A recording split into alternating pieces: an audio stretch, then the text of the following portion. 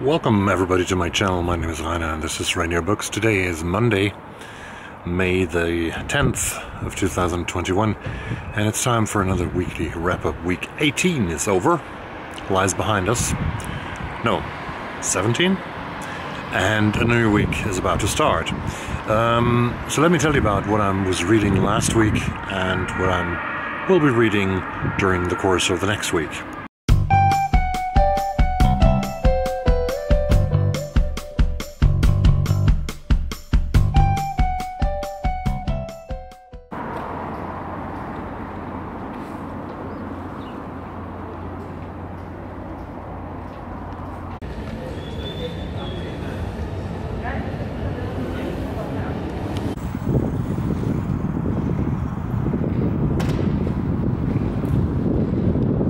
Well, folks, I don't know if you understand me, but I am right here now at Kistamässan in the north of Stockholm. Uh, has become the greatest vaccination center for against COVID-19 in Sweden, and behind me, you can see the queue of people who are going in there to get the either the AstraZeneca or the Pfizer BioNTech if they are younger than 65. That's what I got about 20 minutes ago. So I got my first dose today, and. Uh, feels good, but we still have the highest um, spread of the virus in the whole of Europe. Only Cyprus has a little bit more, so we still have to be super careful. But now I'm on my way home, and see you tomorrow. Bye. What was really weird and what's really a problem is that Kista, the area where I'm get vaccinated, got vaccinated half an hour ago, is an area where I think 80% of the population, if not more, are migrants from African countries, from Middle Eastern countries, from Asian countries. But if you go to the vaccination place, you know, which is right in the middle of this uh, place, you only see Europeans, Caucasians, mostly Swedes, I guess. And that's what's that's also something that I read this morning in the paper that it's a huge problem of uh, to really reach. Oh shit! To really reach the people um, there's a bus behind me. You should never walk on the street. Yeah.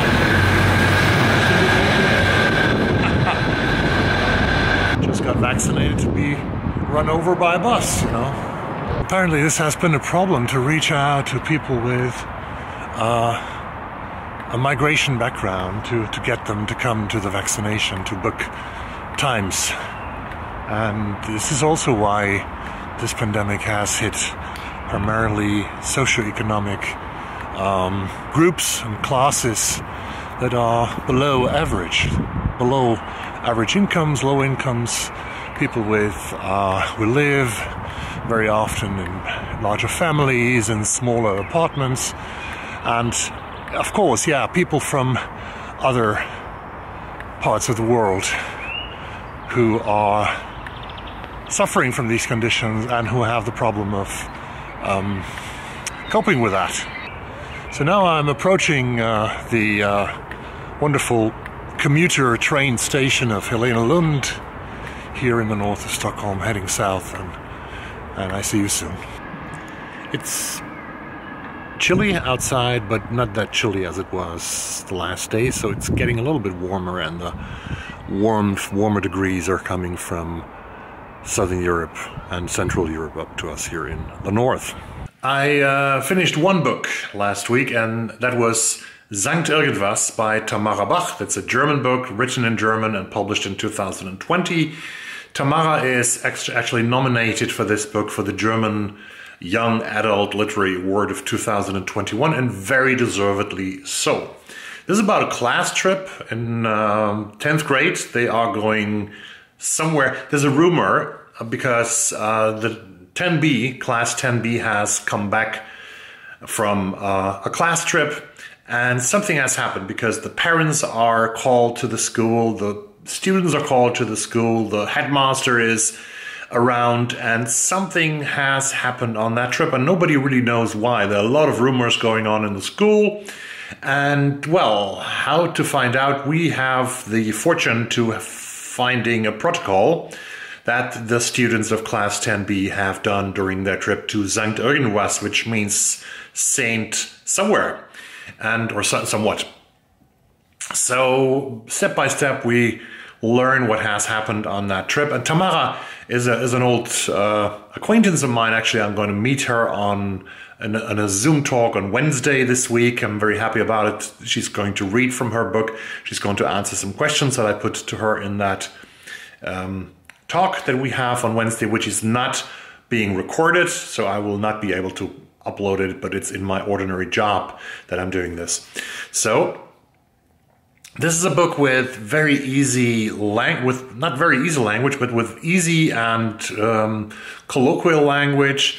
And Tamara is the master of telling stories that are really coming from um, everyday life of young people, of young adults. And once again, she has managed to sort of catch, to sort of catch the feelings, the emotions, and the world and fantasies and fears and hopes of young adults. That's her great um, ability, and she has done it again. She's nominated for the Deutsche Jugendbuchpreis, and I hope that she gets it. In the end, there's a very interesting twist that explains everything that has happened and why 10B has to meet the parents, the headmaster, and so on. I'm not going to tell you that, but this is a book. If you can read and speak German, that I really would recommend you to read if you like good young adult literature that is not a serial, not a trilogy, not a fantasy. It's from real life with real characters, with real people, and it has a beautiful ending, I think. I loved the ending, which I'm not going to tell you, of course. That would be a super duper spoiler. The post Soviet book club is starting, and it has started not very beautifully because I wanted to build up, to set up a Discord server, but I realized that it's pretty complicated. It takes a lot of effort, takes a lot of reading manuals, watching manuals, and I don't have the time right now to do this. So I simply put up a Facebook group. So if any one of you wants to read Untraceable by Sergei Lebedev with me and join the post-Soviet book club, which is going to be one of the most exciting book clubs ever on this um, medium, YouTube, then please write me a note and I can invite you to the Facebook group. Um, please write me an instant message, a direct and private message on um, Facebook. You can uh, send me a Voxer.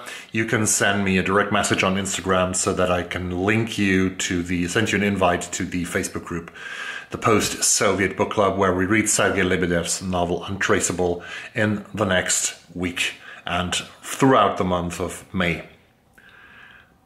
This was everything that I had to tell you today in week number 17. A lot of things are happening in the world. I will come back to that on next Sunday. Um, and um, I'm watching a lot of stuff also on Netflix and on Prime. So, a couple of good series that I recommend to you next Sunday. So, stay tuned to this channel. Be safe, wear a mask, and bye bye.